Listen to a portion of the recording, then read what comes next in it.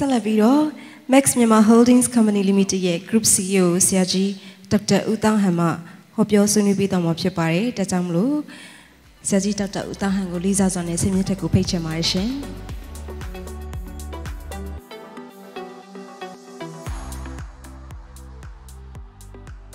။မင်္ဂလာပါဒီနေ့ဒါ၃နှစ်မြောက်ပေါ့ပထမနှစ်တုန်းက ဆရာယူစိန်မဲနဲ့အတူတွဲပြီးတော့မှတခါပြောခဲ့တယ်အဲ့တုန်းကတကယ်ကိုဟို straight fast ဆိုတာလဲကိုယ့်အတွက်အစ်စ်ဖြစ်နေတဲ့ခါကျတော့တကယ်ကိုစိတ်လှုပ်ရှားတယ်ចောင်းသားတွေလည်းပြည့်ဆိုတော့ဗောနော်နောက်ပြီးခဲ့တဲ့နှစ်ကတော့ဒီ digital နဲ့ပတ်သက်တာလေးတခုပြောပြခဲ့တယ်ဒါတတိယတစ်ခေါက်ပြောပြခဲ့တာပေါ့ဒီတစ်ခေါက်ခေါင်းစဉ်က growth driving growth ဆိုပြောတော့စိတ်ထဲမှာစဉ်းစားရတယ်ဗာပြောရမလဲ growth ဆိုတော့ growth ဆိုတော့ဒီရှေ့ကဆရာကြီးတွေပြောတဲ့ဟာအကြံဉာဏ်ဟိုကောင်းစဉ်လေးတွေကြည့်လိုက်ပြီးတော့မှ ဒီ macro ဘက်ကိုပေါ့နော် macro ဘက်ကိုအဓိကအဲ့လိုမျိုးလေးပြောသွားမလားလို့စဉ်းစားပြီးတော့မှဟိုတုန်းကပြီးခဲ့တဲ့နှစ်နှစ်ကျော်သုံးနှစ်နှစ်နှစ်ခွဲနီးပါးလောက်ကလုတ်ခဲ့ဘူးတဲ့ PowerPoint ပေါ့နော်အဲ့ PowerPoint လေးတွေကအဲ့ထက်ကနေပြီးတော့မှကောင်းလို့ရရလေးတွေဆွဲထုတ်ပြီးတော့မှ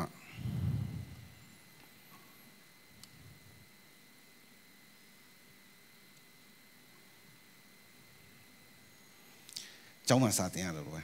ပေါပေါင်းပြောက်ပြောက်သွားအဲ့တော့အဲ့ဒီကနေဆွဲထုတ်ပြီးတော့မှအကြမ်းမြင်ပြော growth ဆိုတော့ macro view ကပဲပြောကြတော့သူစီးပွားသူနိုင်ငံစီးပွားတက်တဲ့ economy ပေါ့ macro economy တိုင်းပြည်ရဲ့ GDP GDP နဲ့တူတွဲပြီးတော့မှလိုက်ပြီးတော့တွဲပြီးတော့မှလိုက်လာတာ FDI ဒီရဲ့ foreign direct investment တွေဒီလိုမျိုးကိစ္စတွေတောက်လျှောက်လိုက်လာတော့အဲ့ဒါတွေကိုပဲတွဲပြီးတော့မှပြောချင်တာအဲ့ဒါနဲ့တွဲပြီးတော့မှနောက်ဆက်တွဲလိုက်လာမှာက FDI နဲ့တူတွဲပြီးလိုက်လာလို့ရှိရင်အများတန်းလူတွေပြောနေတာ ease of doing business ဆိုရယ်တို့နိုင်ငံမှာလှုပ်လှုပ်လှုပ်လွယ်တာမလွယ်တာတို့ policy တွေ procedure တွေ framework တွေဒီလိုမျိုးတွေရှိတာမရှိတာတို့ဒါတွေကနောက်ဆက်တွဲတစ်ခါတည်းလိုက်လာတာမျိုးဖြစ်တယ်ပေါ့နော်အဲ့တော့ဒီထက်မှရှိတဲ့ဟို PowerPoint နှစ်ခုသုံးခုကတော့ငါကဒါဟိုဟိုတေချာလေးပြင်ဆင်ပြီးတော့မှတင်ပြခဲ့ဘူးတဲ့ PowerPoint တွေနှစ်ခုသုံးခုဖြစ်တယ်ပေါ့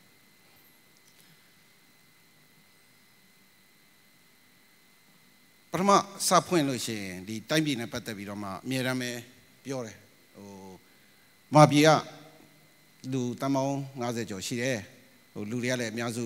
ဟိုတက်ရွယ်ငယ်ပြီးတော့မှလက်တဲ့အရွယ်တွေတကယ်ကိုဟိုဘိုင်းပါဝါလည်းရှိလုံနိုင်စွမ်းအားလည်းရှိနောက်တစ်ခုကအမြဲတမ်းပဲဟိုမာပြည်နဲ့ပတ်သက်လို့ရှိရင်ပြောတဲ့ထက်ကထူးခြားခြားတကယ်အိန္ဒိယနဲ့ China နဲ့ဒီဘက်ကအာဆီယံနဲ့ဂျာမန်နေတာတကယ် strategic location ဖြစ်နေတော့တကယ်ရေးကြည့်တယ်အဲ့တော့တိုင်းပြည်ကတကယ်ကိုအခွင့်အရေးအများကြီးရှိတယ်ပေါ့တိုင်းပြည်စီးပွားရေးတိုင်းတက်မှဆိုတာမျိုးအဲ့တော့တို့ပြီးခဲ့တဲ့ရွေးကောက်ပွဲမစခင်အဲ့ပတ်ချလဲမှာလုပ်ခဲ့တဲ့နိုင်ငံတကာဒီ report တွေဆိုရင်လည်းဗမာပြည်နဲ့ပတ်သက်လို့ရှိရင် the last frontier ဆိုပြီးတော့မှတကယ်ကိုတို့ဟိုဟိုတအားမျောမှန်းခဲ့တဲ့ဟာမျိုးတွေပြောခဲ့ကြတယ်အဲ့မှာရေးခဲ့တဲ့နိုင်ငံတကာဒီ research paper တွေဗမာပြည်နဲ့ပတ်သက်တာတွေဆိုရင်ဗမာပြည်ကတကယ်ကိုဟိုတချိန်တိုးထိုးတက်မဲ့ဟာမျိုးဒါမျိုးပြောခဲ့ကြတယ် ဒါပေမဲ့ဒီ3နှစ်လောက်နေတဲ့အချိန်မှာတော့နည်းနည်းဇဝေဇဝါတွေဖြစ်ပြီးတော့မှအညောင်ညောင်နေတယ်လို့မျိုးတွေဖြစ်လာကြတယ်ဆိုတော့အဲ့တော့အများရန်ဟိုလူတွေထောက်ပြကြတဲ့ချက်ကဟိုအခွင့်အရေးဆိုရင်တော့မှအဲ့ခွင့်အရေးကိုတကယ်အကောင့်ထဲပေါ်နိုင်မှုလက်စွပ်လက်ကင်မိမိရရရယူတတ်ဖို့လိုတယ်ဆိုတာမျိုးဟိုပြောကြတယ်အဲ့လိုများမဟုတ်ခဲ့ဘူးဆိုလို့ရှိရင်ဗမာပြည်ဟာဒီနိုင်ငံကြီးဒီ၃လေးနိုင်ငံနဲ့တကယ် market ကြီး၃လေးခုထဲမှာအလဲကောင်းမှာရှိနေတဲ့ဟာဒီ အဲ့ဒီအခွင့်အရေးကိုကိုကအသုံးချနိုင်တဲ့နိုင်ငံမဟုတ်ဖ ೇನೆ သူများဝင်ပြီးတော့မှဟိုရှူရှူပေါက်ဟိုဟာလှုပ်သွားတဲ့အဲ့လိုမျိုး rest place တခုပဲဖြစ်သွားပြီ bus stop တခုဖြစ်သွားလိမ့်မယ်တကယ် trading house တခုမဟုတ်ပဲねဒါကြောင့်ဒီပမာပြည်နဲ့ပတ်သက်လို့ရှိရင်အဲ့ဒါတွေကအများရန်သတိထားတင်တယ်ဆိုတာဒါတကယ်သူ figure တွေမှာပြောတယ်အဲ့တော့ပမာပြည်မှာထူးထူးခြားခြားဒီရဲ့တချို့ data တွေပေါ့လေဒါလေးကဟိုအစပြောလို့ရှိရင်ဝိုင်းရင်းနဲ့ပတ်သက်ပြီးတော့မှဒီအသက်အရွယ်တွေပမာပြည်ရဲ့အနေထားတွေအကြမ်းပြင်း data လေးတွေဒါလေးတွေက snapshot လေးတွေ snapshot လေးတွေဆိုတာဖတ်ဆိုကြည့်လိုက်တဲ့အချိန်မှာတခုခုကောင်းထဲမှာ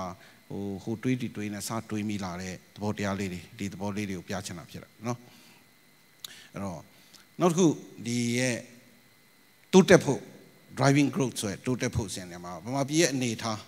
ဟိုအောက်မှာပဲရှိနေတယ်သူနိုင်ငံတကာဒီ report တွေကိုကြည့်လို့ရှိရင်ဒါစိတ်ဝင်စားစရာကောင်းတယ်အဲ့တော့ဒီချက်တွေကဒါ မလိမ်ညာဘူးသို့မဟုတ်လည်းနိုင်ငံတကာ report တွေကခိုင်မာတဲ့ report တွေလို့ယူဆမယ်ဆိုလို့ရှိရင်ဗမာပြည်ဟို exploration ဆင့်ဟိုအောက်မှာပဲရှိနေသေးတယ်ဟို concentration ဆင့်လို့ penetration ဆင့်လို့ maturation လို့ post modern ဆိုတဲ့အဆင့်အောင်မပြောင်းဝေးရှိတယ်ဟိုအောက်မှာပဲရှိသေးတယ်ဆိုတော့ဟာကဗမာပြည်တကယ်တိုးတက်ဖို့တို့လှုပ်ရှားနေအများကြီးရှိသေးတယ်ဆိုတဲ့ဟာကိုပြအဲ့တော့ဗမာပြည်နဲ့ပတ်သက်ပြီးဒီလိုမျိုးတိုးတက်တဲ့ growth ဖြစ်တယ်ဆိုလို့ရှိရင် GDP ဆိုတဲ့ဟာနဲ့ macro economy ကိုတွားကြတယ်အဲ့လိုတွားတဲ့ချိန်ကျရင် ဗမာပြည်ရဲ့ဒီ GDP per capital ဆိုပြီးတော့မှပြောကြတာပေါ့နော်1200လောက်ရှိတယ်ဒီလိုမျိုးပြောကြတယ်ဒါပေမဲ့တစ်ခါဒီကြတော့ပြောတယ်ဗမာပြည်ရဲ့ GDP ဟာတကယ် formal economy ပေါ်မှာပဲအခြေခံတာဟိုပြီးခဲ့တဲ့နှစ်နှစ်လောက်ကဆိုကြောက်စိမ့်နေနဲ့ပတ်သက်တဲ့တကယ် report ကြီးတစ်ခုထွက်ပူတယ်အဲ့ဒီ report ကြီးထွက်တော့ကဆိုရင်ဒါကြောက်စိမ့်နေနိုင်ငံခြားကိုပို့တာပဲဟိုဘီလီယံ32ဘီလီယံလောက်ရှိတယ်ပေါ့ဒါတို့နိုင်ငံရဲ့ GDP ရဲ့တကယ် formal GDP ကတဝက်လောက်မကောက်ဘူးရှိတယ်ပေါ့ဒီလိုမျိုးရှိတော့အဲ့တော့ အဲ့ဒီဟာတွေကတကယ်ထည့်ပေါင်းလို့ရှိရင်ဗမာပြည်ရဲ့ potential အများကြီးရှိတယ်ဆိုပြီးဒီလိုမျိုးသုံးသပ်ပြကြတာတွေရှိတယ်တခုပဲမကောင်းတာအဲ့ဒီပတ်စံတွေအားလုံးကတကယ်ဟိုဟိုတကယ်ဥပဒေအရသွားနေတာမဟုတ်ဖ ೇನೆ အဲ့လိုမျိုး gray area ကနေဖြတ်သွားတဲ့ဟာပဲဗမာပြည်အတွက်စိတ်မကောင်းစရာကောင်းတယ်ဆိုတာမျိုးဒီလိုမျိုးဝေဖန်ထောက်ပြခဲ့ကြတာရှိတယ်အဲ့တော့အဲ့ဒီဟာတွေပါထည့်တွက်တော့တကယ်တမ်းတော့ဗမာပြည်ဟာဟိုတခြားနိုင်ငံတွေနဲ့ရှင်လိုက်ဥမာအဝါပဲဖြစ်ဖြစ်ဒီ China အဝါပဲဖြစ်ဖြစ်အင်ဒိုနီးရှားပဲဖြစ်ဖြစ် နောက်ဗီယက်နမ်ပဲဖြစ်ဖြစ်အိန္ဒိယပဲဖြစ်ဖြစ်သူတို့နဲ့ရှင်လိုက်လို့ရှင်ဟိုအောက်လောက်မှာရှိနေတယ်ထင်ရပေမဲ့တကယ်တမ်းကျတော့ဟို purchasing power parity ဆိုတာနဲ့ကြည့်ရင်တော့ဟိုထိတ်ထိရှိနေဒါလေးတွေကကျတော့ကောင်းတဲ့တစ်ချက်လေးတွေပေါ့တခါဒါကြောင့်မို့တို့ဗမာပြည်ဟာဒါဆင်းရဲတဲ့နိုင်ငံလို့ပြောခဲ့တဲ့ချိန်မှာတောင်မှဟိုတခါဒီကျရင်အဲ့လောက်ဆင်းရဲတယ်လို့မခံစားရအောင်မီးမလာခဲ့တဲ့အချိန်ကလွှဲပေါ့နော်မီးပြတ်ခဲ့တဲ့အချိန်တွေတုန်းကတော့ဒါဆင်းရဲတယ်ခံစားခဲ့ရတယ်သူကဒါတခုပေါ့အဲ့တော့ အဲ့ GDP ကိုပြောတဲ့ချိန်ကျတော့ဒီတို့ကြိုက်တဲ့ဟိုဗီဒီယိုကလစ်လေးတွေတွေကပေါ့နော်ပြဿနာတို့ရှိကဒီပြီးခဲ့တဲ့နှစ်နှစ်လောက်အတွင်းမှာဖြစ်နေတဲ့အချိန်မှာတိုင်းပြည်စီးပွားရေးကတချို့ကလည်းတက်တယ်ပြောတချို့ကမတက်ဘူးပြောတချို့ကကျနေပြောတယ်တချို့ကလည်း runway ပေါ်မှာပဲစီကုံသွားတယ်ပြောတာလည်းရှိတယ်လင်းမြန်ကြီးတက်တော့မှာပါပြောတော့စီမရှိဘူးဆိုတာမျိုးဖြစ်နေတယ်ဆိုတာမျိုးအဲ့တော့အဲ့လိုဝေဖန်ခဲ့ကြတဲ့ချိန်မှာတို့နိုင်ငံမှာ အထူးဖြင့်လို့ဆိုရတွေကသူကကုန်စည်နှုန်းတားတက်ပြီး inflation တားတက်မှာကြောက်တယ်ဆိုပြီးတော့ဖြစ်ပြီးတော့မှ government spending ကိုထိုးပြီးတော့မှဆွဲဆွဲပြီးတော့မှချုပ်လိုက်တယ်အဲ့ချိန်ကျတော့ဒီ contractionary policy ဆိုပြီးတော့မှနည်းနည်းထိမ့်ထိမ့်သိမ့်သိမ့်နဲ့ကစားတဲ့ policy ကိုသွားတယ်ပတ်စံအောင်ရေလိုရှောင်းအောင်လွတ်ချပြီးတော့မှလူတွေကသုံးဖြုံပြီးတော့မှသုံးဖို့လဲစီးပွားတွေတအားလုပ်ပြီးတော့မှတကယ်ငွေကိုရေလိုရှောင်းအောင်သုံးတဲ့အဲ့လိုစီးပွားရေးကိုလုံဆော်တာမျိုးမဟုတ်ဖ ೇನೆ ချုပ်ချုပ်တီတီလုပ်တယ်ဘာဖြစ်လို့ကုန်စည်နှုန်းကြီးလို့ရှိရင်ဒုက္ခရောက်မှာပိုကြောက်တယ်ဆိုတော့ရှုထောင့်ကနေလှုပ်ကြတယ် အဲ့ခါကျတော့ဒီဟာလေးကိုသွားတတိရတယ်ဒီဟာလေးကိုသွားတတိရတော့ပြီးခဲ့တဲ့2014 15 16မှာတို့တိုင်းပြည်ကဘလို့ဘလို့ဆိုတက်သွားတယ်နောက်ဆုံး8.4လောက်ထိ GDP ကတက်သွားပြီးတော့မှဘလို့ဆိုပြန်ပြီးတော့မှဆင်းလာတယ်ဒီနှစ်ဆိုရင်ဒါနည်းနည်းတော်တော်ကြီးကိုငြိမ်ငြိမ်သက်သက်ဖြစ်နေတဲ့ဟာမျိုးတော့ဖြစ်တယ်အဲ့တော့အဲ့ policy လိုမျိုးဒီလိုမျိုးဟာမျိုးဆိုရင် GDP ကဒီ consumption လူတွေကသုံးတဲ့ဖြုံးတဲ့အားကောင်းဖို့လိုတယ်ဆိုတော့လူတွေကထိမ့်ထိမ့်ထိမ့်ထိမ့်သွားလှုပ်ကြလို့ရှိရင်သုံးတဲ့ဟာချပါ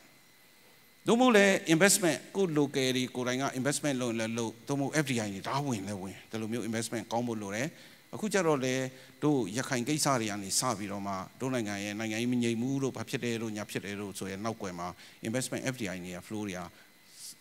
နေဆင်းသွားအဲ့လိုနှစ်ခု C နဲ့ I နဲ့ပူစီညောက်တော့ဖြစ်သွားလို့ရှိရင် तू က G က government spending ကတက်ရမှာဒါပေမဲ့ government ကလည်း ပတ်စံသုံးတဲ့ဟာကိုသုံးလို့မဖြစ်ဘူးကုန်စည်နှုန်းတွေဒါတက်ကုန်နေမယ် inflation ငွေတွေဖောင်းပွားကုန်မယ်ဖြစ်တဲ့အချိန်မှာအဲ့ C ရော I ရော G ရောသုံးခုလုံးသေးသွားလို့တော့ငါတို့ပြောနေတဲ့ driving growth ဆိုတဲ့ဟာဘာလို့ပြောနေလဲဟို theory ရတော့ငါတို့နားမလဲဘူးလက်တွေ့နဲ့ theory ကဟိုမတူတတ်တဲ့အတွက်လက်တွေ့တွေမားတွေကတော့ပိုသိမှာပေါ့ဒါပေမဲ့ theoretically ဆိုလို့ရှိရင်တော့ငါတို့ကြည့်နေရတာကဘာလို့ဖြစ်နေမှမသိဘူးဖြစ်နေဆိုဆိုဒါလေးဟာဟိုအဲ့တော့အဲ့ဒီဟာကိုလောက်ကြတဲ့တို့ရဲ့ GDP ကိုတက်အောင်လုပ်ကြတဲ့အချိန်မှာ တကယ်ဟိုတို့ရှီယာထိနေဒါ fiscal policy တွေ monetary policy ဒါမျိုးတွေပြောကြတာပေါ့နော်အဲ့လိုမျိုးပြောပြီးတော့မှအဲ့နှစ်ခုနဲ့ဒီငွေငွေငွေတွေပေါ်အောင်ငွေတွေမပေါ်အောင်ကိုစင်းတို့တက်အောင်ကိုစင်းတို့မတက်အောင်ဒီလိုမျိုးတွေထိညာအဲ့တော့ဘာလို့တတိရလဲဆိုတော့ဒီအခြေခံအကျဆုံး economy ကိုပြောတဲ့ supply နဲ့ demand ဆိုတာကိုတတိရအဲ့တော့ supply ဆိုတဲ့ဟာဒီလိုကြီးတက်သွားတယ် curve က demand ဆိုတာပေါ်ကနေကြာလာ ပစ္စည်းစိတ်အားရရင်ထုတ်တဲ့လူများပြီးတော့မှပစ္စည်းစိတ်အားနည်းလို့ရှင်ထုတ်တဲ့လူမရှိဘူး demand ဆိုတဲ့သဘောကြောင့်တအားဈေးပေါ်ရင်ဟိုထိတ်မှရှိပြီးလိုချင်တဲ့ကောင်အများကြီးရှိပြီးတော့မှဈေးတအားကြီးလို့ရှင်အောက်မှာဈေးကြီးသွားလို့ရှင် demand မှာကျတော့လိုချင်တဲ့လူကနေသွားတယ်အဲ့တော့ supply နဲ့ demand နှစ်ခုဖြတ်တဲ့နေရာမှာသူကဒါ price equilibrium တစ်ခုဖြစ်တယ်ဆိုပြီးတော့မှအဲ့နာမှာ price ဖြစ်တယ်အဲ့တော့အဲ့လိုမျိုးဖြစ်တဲ့အချိန်မှာဒီတို့တိုင်းပြည်ရဲ့ government spending ကဒီဘေးကိုတွန်းပြီးတော့မှတင်ရမယ်သူက demand 1ကနေ demand 2ကိုရောက်တော့ government spending C ကလည်းမရှိဘူး I ကလည်းမရှိဘူးဆိုရင် G ကအဲ့ကောင်တွန်းတယ်ဒါဒါပေမဲ့ဘယ်လောက်ထိတွန်းတင်ရမလဲဆိုတဲ့ခါကျတော့အဲ့ level တစ်ခုကိုရောက်လာမယ်အဲ့ level တစ်ခုကိုရောက်လာခဲ့လို့ရှိရင်တော့ဆက်တက်လို့ရှိရင်ဟုတ်တယ်သူတို့ပြောတဲ့ inflation လာမယ်ဒါပေမဲ့အဲ့ level ကဘယ်နေရာလဲဆိုတာဟာအဲ့ level လောက်ထိ grow ဖြစ်သွားဖို့ဘယ်လို drive လုပ်ပြီးအဲ့နားရောက်ဘသူကရက်ခိုင်းမယ်ဆိုတဲ့ဟာကိုဘေးရင်ဆရာတော့မေးလို့မရဘူးအဲ့ဒါဟိုရရစာပြသတာနဲ့လည်းမဆိုင်ကိုထင်တာကိုပြောလို့မရဘူး တကယ်နားလေတဲ့လူတွေလိုတယ် economy ကို drive လုပ်တယ်ဆိုတာအဲ့လိုမဟုတ်ဘဲနဲ့အဲ့လိုတွေဖြစ်ကုန်မှာဆိုအဲ့လို live လုပ်တယ်ဆိုရင်အဲ့လိုစကားတွေပြောရင်အဲ့လိုတွေပဲဖြစ်ပြီးအဲ့လိုနေရာမှာပဲရောက်နေမှာဖြစ်တယ်ဆိုတော့ဒါတို့ရှိကဟိုဖြစ်နေတဲ့ဟို growth ဆိုတဲ့ဟာကိုဒါလူတွေကအိတ်ချမှုတို့နဲ့လည်းမျက်လုံးတစ်ဖက်မဖွင့်မှလည်းပြောတယ်ဒါပေမဲ့ဘလို့ growth ဆိုတဲ့ဟာကိုကျွန်တော်သိချင်မသိဘူးဖြစ်နေတယ်လို့စိတ်တခံစားရတယ်ဒါနံပါတ်1ပေါ့နော်အဲ့တော့အဲ့လိုပေါ်မှာခြေခံပြီးတော့မှတို့ ဟိုတုန်းကအဲ့လိုပဲတို့တိုင်းပြည်ရဲ့ဒီအနေထားကိုတိုင်းပြည်ကိုတိုးတက်အောင်လုပ်မယ်ဆိုလို့ရှိရင် small business ကနေပြီးတော့မှ medium ကနေပြီးတော့ large ကနေပြီးတော့မှ listed ကနေပြီးတော့မှနောက်ဆုံး internationalization MNC တွေရောက်လာတဲ့ဒီတို့ရှိကကုမ္ပဏီတွေကိုဆွဲသွင်းဖို့လိုတယ် drive လုပ်ပေးဖို့လိုတယ်ဆိုအနေနဲ့လည်းအဲ့တော့အဲ့ဒါတွေလုပ်ဖို့အတွက်ဆိုလို့ရှိရင်ဘယ်နေရာဘယ်အချိန်မှာပဲပြောပြောဘယ်နိုင်ငံမှာပဲပြောပြောသူ့ရဲ့အခြေခံအဆင့်တွေကိုဖျားရတယ်ဆိုပြီးတော့မှ ဒီဟာလေးကိုလုပ်ခဲ့တယ်ဒါအဲ့ဒီချိန်တုန်းကဆွဲခဲ့တဲ့ small media နဲ့ large လေးတွေအဲ့တော့ဘာပဲဖြစ်ဖြစ်လှုပ်ချင်တယ်လှုပ်ချင်တယ်ပြောရင်ဟိုထိတ်ကဟိုဘက်ကတော့ကွယ်နေမှာပေါ့နံပါတ်1က opportunity ရှိရမယ်နေ့ကတကယ်တတ်သိရှိပြီးတော့မှတကယ်ကို fight မယ်လုပ်မယ်ဆိုတဲ့ entrepreneur စိတ်တွေရှိရမယ်ငါတို့နိုင်ငံမှာရှိတဲ့ resources တွေ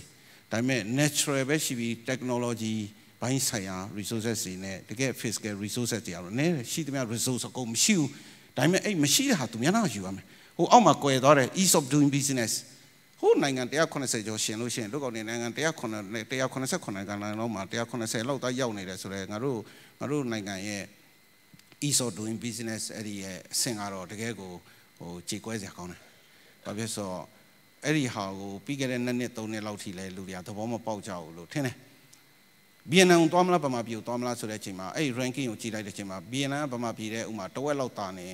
ကိုရာစီးပွားရေးသမားမရောက်ဖို့တဲ့အာဖရိကနိုင်ငံကိုရှင်းမယ်။ဥမာယူဂန်ဒါကိုသွားမလားအီတိုယိုပီးယားသွားမလားဆိုရင်ဥမာယူဂန်ဒါကနေပြီးတော့မှအလုပ်လုပ်ရတာနှစ်ဆလောက်ပို့လွယ်တယ်အကုန်လုံးလည်းတည်ငြိမ်နေပြောရင်ဘယ်လိုမဆိုယူကန်တာပဲသွားမယ်အီတိုယိုပီးယားဘယ်သူမှသွားမှာမဟုတ်အဲ့လောက်ရိုးရှင်းတဲ့ဟာကိုတို့ရှိမှာကဟိုချောင်းတောင်ကမ်းဖြစ်နေတာမျိုးဖြစ်နေတယ်အဲ့တော့ပြင်ရမယ့်ဟာလေးတွေလွယ်လွယ်လေးတွေကိုမပြင်ကြဘူးလူတွေအမထက်ကြအောင် ငါတို့သွားပြီးတက်ခဲ့တဲ့အစည်းအဝေးတစ်ခုမှာဘာတော်ပြောလဲဆိုတဲ့ခါကျတော့ ease of doing business တွေဖြေတဲ့ဆံပွဲမှာလူကြီးတယောက်ကပါပြောလဲဆိုအဲ့စာရွက်တွေဖြေရတဲ့ question တွေအဲ့ဒါတွေကိုသူတို့ကဖတ်ပြီးရင်ကိုဖြေတာမဟုတ်လားမဟုတ်လားမသိဘူးမဟုတ်သူတို့ကအဲ့ဒါတွေဖတ်ပြီးလို့ရှိရင်ဟိုဘက်ချမ်းကနေပြီးတော့မှဒီ ranking ပေးတဲ့လူတွေကဒါကိုဆမွေကိုစစ်မှာတဲ့ဒါတွေအကုန်လုံးတေချာစစ်ပြီးတော့မှအမှတ်ပေးပြီးတော့မှရတဲ့အမှတ်ကိုပေါင်းပြီးတော့မှ ranking ပေးမှာရဆိုလဲပြရှုပ်တယ်သူတို့ပဲဖြေခိုင်းနေပြီးတာပဲကျွန်တော်တို့ကဘာကိစ္စအပင်ပန်းခံပြီးဖြေနေကြလို့လဲ ကျွန်တော်ငါတို့ကပြောတယ်အဲ့လိုမဟုတ်လေကျောင်းဆရာကဆမွေမိကွန်းထုတ်တာကျောင်းဆရာလို့ဖြေရမှာကျောင်းသားလို့စာဖတ်မှာကျောင်းသားလို့အဲ့ဒီကျောင်းဆရာပဲပြီးလို့ရှိရင်အဲ့အဖြေလောကိုပြန်စစ်တာအဲ့တော့အဲ့ဆရာစစ်မှာပဲဆိုအဲ့ဆရာပဲဖြေခိုင်းနေပြီးနေတာပဲဗျာဆိုတော့အဲ့ဒါတို့ရှိအလူကြီးတယောက်ကပြောတာအစည်းအဝေးကန်းကြီးတယ်မှာနိုင်ငံတော် level မှာဆိုအဲ့ဒါရှော့ရှိတယ်တို့ရှိမှာအဲ့လောက်လွယ်နေတယ်ပြဿနာလေ ဆိုအဲ့တော့ဟိုအောက်မှာဟိုအောက်မှာ political and social stability ဆိုပြီး꿰နေလို့ဒါလိုတယ်တို့ရှိမှာကိုဟိုက in house နဲ့ outsource နဲ့ခုရှိရတယ်ခါလေးကျရင် organic growth ရှိတယ် inorganic growth ရှိတယ်ကိုဖာကိုကြီးလာရှိတယ်သူများဆွဲထူတာရှိတယ်ဆွဲထူမဲ့လူတွေကကိုကရှွန့်ပေးနေတယ်ကိုလက်ကရှွန့်ပေးနေတယ်ရှွန့်ဆိုရင်တော့မှဆွဲထူထူအောင်မယ်ကိုလက်ကမဟုတ်တာပေးနေတယ်ဆိုဘယ်သူမှလာဆွဲမထူချင် အဲ့တော့သူများလာထူဖို့အတွက်ကိုကအောက်မှာအများကြီးဟိုဟိုဘောင်းဝင်ဖို့လိုတယ်အဲ့ဒါတွေမရှိဘဲနဲ့ growth တခု drive လုပ်မယ်ဆိုတဲ့ဟာစင်မပြေဘူးအဲ့တော့အဲ့လို small business တွေစထွက်လာပါစေအောင်အဲ့လိုထွက်လာမှ medium ကိုတက်မှာ medium ကိုတက်ချင်လို့ရှိရင် market လုပ်ပေးရမယ် market ကိုတကယ်လုပ်ပေးတာအဲ့စကားကိုတကယ်နိပညာပိုင်းဆိုင်ရာဆွေးနွေးရင်ကျတော့ market တခုတကယ်ဖြစ်လာလားဥမာကျောင်းမြက်ဈေးကွက် market တကယ်ဖြစ်လာလား market တခုဘာကိုပြောရလဲ ကျောင်းသမားတွေအတွက် market ကိုဘာပြောရလဲကျောင်းမြက်နာဈေးကွက်ကြီးလုပ်ပေးလိုက်ဒါတော့ market လုပ်ပေးရမဟုတ်ဘူး24နာရီ9ရက်24/7 365အယောင်းဝယ်လုပ်လို့ရတယ်ကျောင်းမြက်ဈေးကွက်မျိုးတခုဖြစ်လာတာမျိုးရှိလားဘယ်လိုလုပ်ပေးမှာဝယ်ချင်တဲ့လူမွေချင်တဲ့လူဝဝယ်ကျင်တယ်လို့မဝယ်ကျင်တယ်လို့နဲ့အီအောင်ဝမ်လုပ်တဲ့လူကိုဘယ်လိုပြန်ပြီးတော့အေးအေးယူမယ်ဆိုတာအစဒါမျိုးလေးတွေလိန်နဲ့ညာကောက်တာနေစပြီးဘက်ပေါင်းစုံကနေပြည်စုံတဲ့ market ကို develop လုပ်တယ်ဆိုတဲ့ဟာမျိုးကနောက်ဆံမို့ skill management မရှိဆုံးအရာတို့ရှိမှာ business plan တခု15မျက်နှာ10မျက်နှာ20လောက်ရှိတဲ့ business plan ကိုဆွဲရတဲ့ manager ငါတို့ရှိမှာအများကြီးမရှိဘူးအများကြီးမရှိဘူးရှေ့ရနေပြီးတော့မှ executive summary page တခုချရေးပြီးတော့မှ vision mission statement ကနေပြီးတော့မှကို objective တွေတွားပြီးတော့မှဟို organization structure နေပြီးတော့မှကို financial projection ကနေပြီးတော့မှ sales and marketing AMP budget တခုလုံးတစ်နှစ်စာဆွဲပြီးတော့မှ financial statement projection 3 year ဆွဲပြီးတော့မှ operation management တခုထွဲပြီးတော့မှ risk management ကနေနောက်ဆုံး CSR တိအဆုံးသတ်တဲ့စာမျက်နှာ20လောက်ကိုဆွဲပေးမဲ့ skill manager တွေ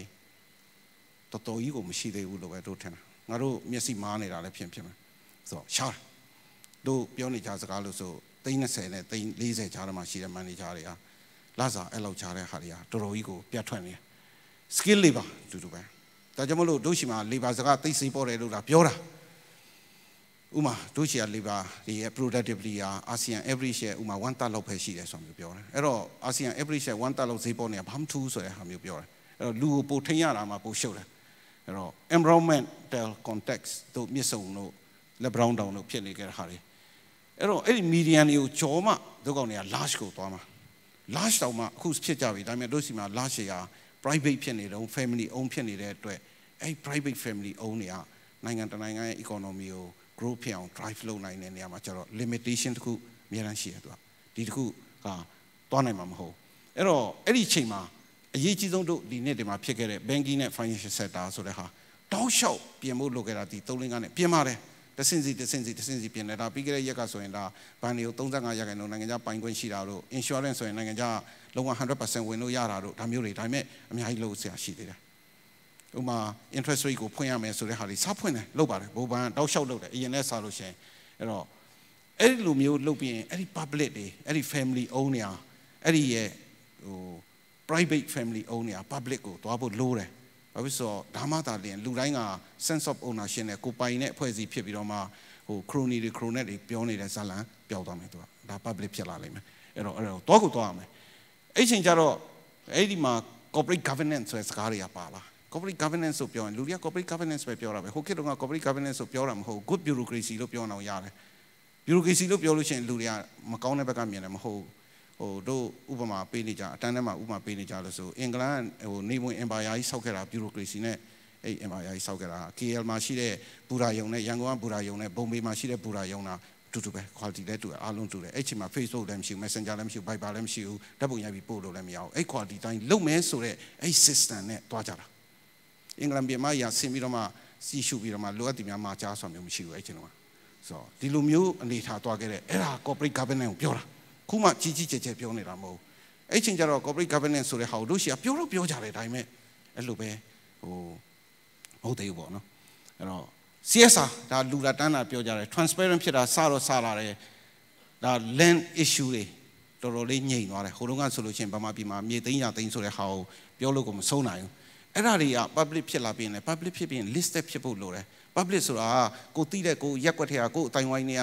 ဥမာပေါ့ဟိုမှာကားရောင်းဝယ်လုပ်တဲ့လူ90လောက်ကပေါင်ပြီးကား public company ထောင်တာအဲ့လိုပြောတာမဟုတ် listed ဆိုတာတကယ်တကယ် public တနိုင်ငံလုံးကလူတွေက share တွေရောင်းရဝယ်ကြတို့ရှိမှာအခုက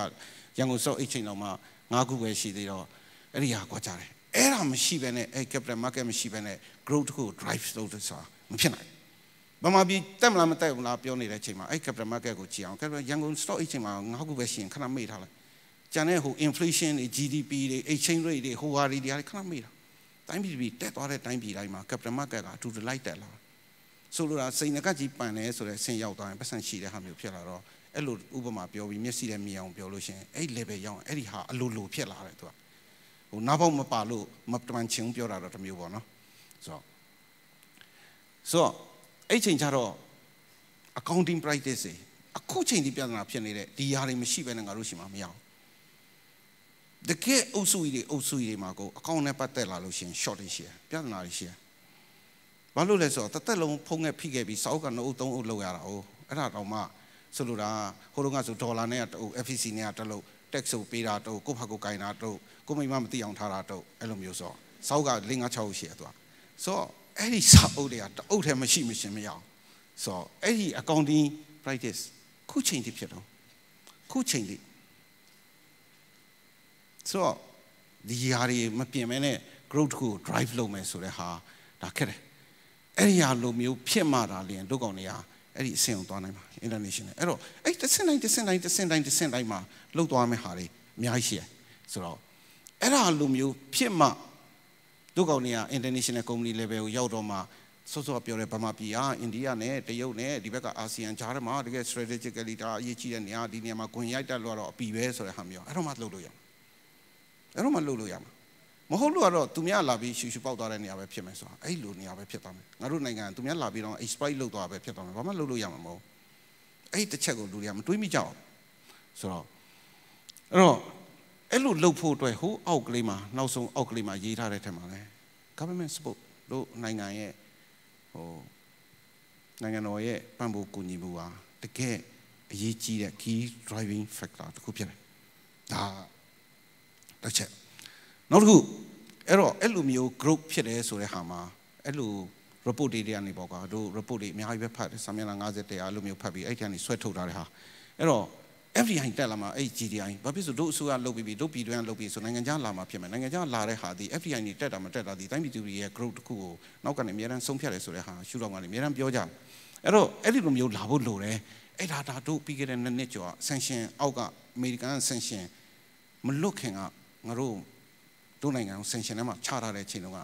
ပြင်ဆင်ပြီးတင်ပြခဲ့တဲ့ဟာလေးတစ်ခုဖြစ်တယ်အဲ့တော့နံပါတ်1အရေးကြီးဆုံးကငါတို့နိုင်ငံ sanction အောက်ကလွတ်ကိုလွတ်ရမယ် by hook or by crook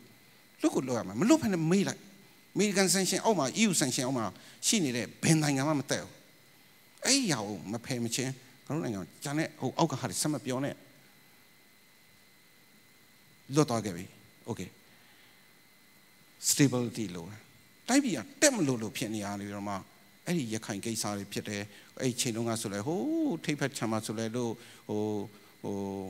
ဟိုကချင်ပြည်နယ်မှာလည်းတိုက်ပွဲတွေဖြစ်တယ်ဒီဘက်မှာဖြစ်တယ်အဲ့လိုမျိုးတွေဖြစ်လိုက်တဲ့အချိန်မှာလူတွေကဇဝေဇောဖြစ်တယ် stability ဆိုတာအဲ့လိုစစ်ပွဲတွေမှာမဟုတ်ကန်းဆိုးကျွန်တော်တို့ကောင်နေ2016တာတက်နေတဲ့အချိန်မှာရေလွှမ်းပြစ်လိုက်တာတွေဖြစ်တယ်ကြီးကျယ်ရေလွှမ်းပြစ်လိုက်တဲ့ခါကျတော့တကယ် GDP ထိုးကျသွားတဲ့အချိန်မှာဆိုတော့ငါတို့နိုင်ငံကတက်ရမယ့်ဟာရှုရှုရှူရှူမဖြစ်ခဲ့တာအဲ့တော့ ဒီဟာရေးကြည့်ရကံကောင်းထောက်မှဆိုတို့ကတခြားအိမ်နေနေချင်းနိုင်ငံတွေနဲ့စစ်ဖြစ်နေတာတွေဘာမှမရှိတာပဲအများကြီးအများကြီးကံကောင်းတယ်အဲ့တော့ဒါရှိကိုရှိအောင်မရှိလို့မရအောင်အစိုးရ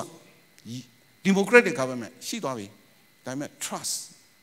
ငါတို့အစိုးရတို့တိုင်းပြည်ကိုဘယ်လောက်တက်အောင်လုပ်ပေးမလဲဆိုရယ် trust ကဘယ်လောက်ရှိလဲလို့ဘယ်သူမှမပြောကြည့်အောက်မှာပဲချရေးဆိုရင်စိတ်ဝင်စားဖို့ကောင်းတယ်ဆိုတော့ timing ဗမာပြည်က last frontier ဆိုလူတိုင်းကလာပြီးတော့မှ jump လုပ်ချင်တဲ့အဲ့ timing ကိုမိအောင်ဖမ်းဖို့လိုတယ်မိအောင်ဖမ်းဖို့လိုတယ်အဲ့ timing အဲ့ window opportunity တခုလွတ်သွားခဲ့ရင်မိလိုက်တော့တခါလေကြားလို့ရှိရင်လူဆိုတာဟိုတောင်းတိုင်းရဖို့မပြောနဲ့ပေးတိုင်းတော့မရဘူးယူရမှရတယ်ဆိုအဲ့တော့ငါတို့ပြည်ကငါတို့နိုင်ငံကလူတိုင်းကတကားလာခောက်ပြီးတော့မှပြူးပြူးပြဲပြဲနဲ့ last frontier ဆိုဝင်လာတဲ့ timing ကိုလွတ်သွားခဲ့လို့ကတော့ငါတို့ထင်တာလွတ်ချင်နေ လွတ်ချင်နေသုံးနှစ်ရှိခဲ့ဆိုတော့နှစ်နှစ်ပဲကြာတော့အဲ့ timing ကိုမမိလို့ရှိရင်အိုက်ခံမှာလူတွေကနောက်တစ်ခါပြန်လာချင်မှလာတော့မယ်သူကဆို natural resources ငါတို့ resource seeking ဆိုတဲ့ FDI နေဒါလိုက်လာကြတာအဲ့တော့ငါတို့တစ်တော်တွေလည်းကုံတယ်လို့ဖြစ်တော့မှာကြောက်စိမ့်နေဆိုတာလည်းတောင်နေရကုံတယ်လို့ဖြစ်တော့ရေနံသွင်းဆိုတာလည်းစိတ်ဝင်စားစရာတိတ်မကောင်းတော့အဲ့တော့ငါတို့ရှိမှာပါရှိတယ် ရှိနေတဲ့ resources လူတွေရှိရဲ့အဲ့လူတွေက productivity one တက်ပဲရှိတဲ့လူတွေကဘယ်လောက်ထိဟိုမှာဗမာပြည်ကထုတ်တဲ့ကားနဲ့ဟိုထိုင်းနေထုတ်တဲ့ကားနဲ့ဘယ်ကားပိုကောင်းလဲ BNN နေထုတ်တဲ့ကားနဲ့ဘယ်ကားပိုကောင်းလဲဆိုတဲ့အချိန်မှာအဲ့ချိန်ကလူတွေရဲ့ human resources ကဘယ်လောက်များများများများတန်ဖိုးရှိတယ်ဆိုတဲ့စကားတစ်ခုပေါ်လာလိမ့်မယ်အဲ့တော့အဲ့ဒါအရေးကြီးတယ်ဗမာပြည်ကထုတ်တဲ့တိုတာကားနဲ့ထိုင်းကထုတ်တဲ့ကားနဲ့ဗီယက်နမ်ထုတ်တဲ့ကားနဲ့ဘယ်ကားဈေးကွက်မှာရောင်းလို့ရလဲဆိုတဲ့အချိန်မှာ human resources ဟာစကားပြောစရာတစ်ခုဖြစ်လာတယ် tourism တအားပြောတယ်တအားကြီးမယ်တအားလည်းဖြစ်နိုင်တယ်ဒါပေမဲ့အိုးနောက်ဆုံးကရေးထားလို့ပဲ shopping တို့ night life တို့ဆိုတဲ့ဟာတွေဟာ part and parcel of the tourism နိုင်ငံတိုင်းမှာငါတို့ရှိမှအဲ့ဒါတွေမရှိဘူးဆိုရင်မရဘူးဖနက်ဆိုရင်နဲ့ဖက်သွားတယ်လို့ပဲတစ်ဖက်ကြံနေကြလို့မရဘူးသူဆိုတော့ ready ဖြစ်ပြီလားတကယ် tourism tourism tourism အဲ့တော့ဘာမှပြူလာတဲ့ tourism တွေဘယ်သွားမလဲပြောတဲ့ခါကျတော့တကယ်တမ်းဘယ်မှသွားစရာတိတ်မရှိဘူး ဘဘယ်သွားမလဲတို့ပကံပို့ပေးမယ်အင်းလေးပို့ပေးမယ်နောက်တစ်ခါကျတော့ရွှေကုံဖျားပို့ပေးမယ်မဟာမြတ်မှုနေ့ဒါတော့မှဥပမာတို့အမြဲတမ်းမဟာမန္လေးဒေသကြီးဆိုရတွေတို့ဟိုတုန်းကအဲ့လိုမျိုးတွေမှာလဲတို့မေးဘူးလေမဟာမြတ်မှုနေ့ကိုဟိုးဟိုဟိုဘန်ကောက်ကမြဖျားလိုပဲပတ်စံဝင်အောင်လုပ်ဖို့အစီအစဉ်ရှိလားလိတ်နေအောင်ယူတာပတ်စံရှိလားမဟာမြတ်မှုနေ့တရက်ဘလောက်ဝင်လာလဲ မြဖျားဘလောက်ဝင်လာလဲနိုင်ရှင်နဲ့ကျန်းစာပေစာတမ်းဖတ်ပွဲရှိလားဘာဖြစ်ဆိုမြဖျားတရက်တရက်ဝင်တဲ့ပတ်စံသူ့မြဖျားပြပုံတစ်ခုလုံးရွှေပြားချထားလို့ရမှာဆိုတော့အဒါတွေကဟို group group ကြီးပဲပြောနေတာမဟုတ်စိတ်ဝင်စားအောင်ဘယ်လိုလုပ်နိုင်လဲဆိုတာအများကြီးရှိတယ်အဲ့တော့ တို့ရှိကတုံးနိုင်ဖြုတ်နိုင်မြေစည်းတွေတက်လာတဲ့အချိန်မှာအဲ့ဒီရဲ့ market seeking ဆိုတဲ့ FDI နဲ့တောက်လျှောက်ဝင်လာတယ်ဘာ chasing power strategic location ပြောတယ်ငါတို့ကောင်းနေအများတန်းရှိတယ်အဲ့တော့တခြားလူကတော့ဝင်လာတာမဝင်လာတာမတွေ့ဘူးတို့ China ကတော့ဟိုးကြောက်ဖြူကိုဖြတ်ပြီးဆင်းသွားတယ်ဘရုဆိုဒါပေမဲ့ခက်တာငါတို့မရလိုက်ဘူးအဲ့လမ်းကြီးတွေဒါပြီးသွားတယ်တိုင်းပြည်အဲ့ခါကြောင့် GDP 2% 3%တက်သွားတယ်ဆိုတာမျိုးတေချာမကြားလိုက်ဘူးတိတ်တိတ်ကလေးပဲပြီးသွားတယ်အဲ့ပွဲ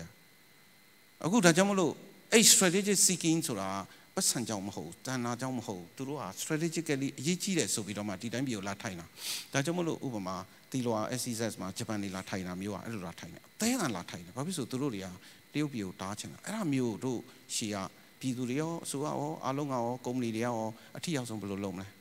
အဲ့ဒါတွေကတကယ် driving force တစ်ခုဖြစ်လာတယ်အဲ့တော့အဲ့ဒီဟာတွေလုံနေတဲ့အချိန်မှာအဲ့လိုကုန်စည်နှုန်းတွေဖောင်းပွားတာမဖြစ်အောင် ဒေါ်လာဈေးက1300နေ1500 1600ခုံပြီးတော့မှပုံတိုင်းကျဲနေတာမျိုးမဖြစ်အောင်တော့ထိမ့်မှုလို့အဲ့ဒါမထိမ့်နိုင်ဘူးဆိုလို့ရှိရင်လည်း growth ဆို drive လုပ်တယ်ဆိုတာမဖြစ်နိုင်အဲ့တော့ cheap labor အရင်မကြည့်ဘူး skill ဖြစ်တဲ့ labor အရေးကြီးတာအဲ့ဒီဟာကိုကွယ်ကွယ်ပြားပြားသဘောပေါက်ပြီးတို့ရှိမှာ vocational training တွေတက်ဖို့လိုတယ်ဟိုးတုန်းကတို့စင်ထဲမှာရှိတဲ့တို့သိခဲ့တဲ့တယောက်ဂျာမနီမှာတွားပြီးတော့မှ GDI ပြီးပြီးဂျာမနီမှာတွားပြီးတော့မှအဲ့လိုမျိုး certificate ထိုက်ယူခဲ့ပြီးတဲ့လူဟာရန်ကုန် R&D ကနေကျောင်းပြီးပြီးတော့မှ engineering ME နဲ့အကောင်းဆုံးပြီးခဲ့တဲ့လူတဲ့တောင်မှစင်ကာပူမှာအလုပ်ရှာတာလွယ်တယ်။ဘာဖြစ်ဆိုသူတို့ skill ဖြစ်တယ်ဆိုတာကိုလက်ခံထားလို့ရိုးရိုး YD ကပြီးတဲ့လူနဲ့စားလို့ရှိရင်ဟိုက certificate ယူခဲ့တဲ့လူကပိုတေချတယ်ဆိုတာမျိုးအဲ့လိုမျိုးလေးတွေရှိတယ်။ဒါကြောင့်မို့လို့တို့က BCom ပြီးတဲ့ဟာနဲ့လူတွေကတောသားဖြစ်ကြတယ်ပောက်ကွဲကြတယ်အဲ့လိုဝေဖန်ကြတယ်ဒါပေမဲ့ဥမာ SCCI level 3 4ပြောတဲ့ဟာနည်းနည်းတော့တေချတယ်ဆိုတာမျိုးဖြစ်ပြီးတော့မှသူ့ကိုဈေးပေါ်ပေါ်လေးနဲ့ဟို ဈေးနည်းနည်း short ပြီးယူရတဲ့ဟာဟို BCom နဲ့ပိုတာလားဖြစ်နေလားဆိုတဲ့ဟာ market မှာဖြစ်ခဲ့ဘူးတယ်။နောက်မှတော့ပြန်ပြီးတော့မှဒီကိစ္စကိုအပြင်းထန်လို့ရန်ကုန်စီးပွားရေးတက္ကသိုလ်ကလည်းဒါပြန်ပြီးတော့မှတေးသေးချာချာထောက်ပြတာမျိုးတွေဖြစ်လာဆိုတော့လူရှိမှာပျောက်သွားတယ်လို့ဖြစ်ပြီးတော့မှစလာ child labor ဆိုတဲ့ဟာကိုဒီတန်းထဲမှာရှိတဲ့လူတွေသိမှမဟုတ်တို့ဒီနေ့ဖြတ်လာတာတို့တိုက်ကြီးပဲလမ်းဖွင့်ပွဲဖြစ်ပြီးပြန်ဖြတ်လာတော့အမတ်လေးလမ်းဖြတ်လာတော့ Henneken ဘီယာဘီယာနေဖြတ်လာတော့တတိယ 1996ဆုံးကနေတာလန်မှာတို့ရောက်နေတဲ့အချိန်မှာအဲ့မှာတို့ပါလီယမ်မှာမဲခွဲဖို့တခုရှိရပမာပြည်မှာ Henneken ဝင်မယ်မဝင်ဘူး Henneken မဝင်မယ်မဝင်ဘူးဆိုတာအဲ့ချိန်မှာတို့ကကွက်တိသတင်းစာမှာတို့ကောင်းနေရရေးတယ်ရှင်းတဲ့သမီးလောက်ရှိတဲ့ကောင်မလေးတယောက်ကโอเค6လုံးလောက်ထမ်းနေတဲ့ဟာလေးကိုဓာတ်ပုံကပ်ပြီးကင်မရာမန်ကဓာတ်ပုံကပ်ရိုက်ပြီးတို့သတင်းစာမှာပုံကျူးချတာပြီးတော့နောက်ထပ်ပုံတစ်ပုံအောက်မှာကျတော့ဟိုတို့တက်ကရဲဘော်တယောက်ကတနတ်နဲ့ပုံတင်ထားတယ် တကယ်တော့ဘာမှဆိုင်တဲ့ပုံပုံချိန်လိုက်တာဒါပေမဲ့ရုပ်တရက်ဖတ်ဆိုကြည့်လိုက်တဲ့လူတွေကအဲ့တက်ကအဲ့ကလေးကိုအဲ့တနတ်နဲ့ပြပြီးအဲ့ဒီစီပွားဥပိုင်ကပိုင်တဲ့အဲ့ဒီရဲ့ဟိုတို့ဟိုဟာမှာဟိုတို့မင်္ဂလာတုံအဲ့ဒီရဲ့ဗာလဲပြင်မပင်စက်မှုစုံမှာအဲ့ဒီကောင်ဆောက်ခိုင်းနေတယ်ဆိုတာမျိုးဖြစ်အောင်လုပ်ပြလိုက်တာ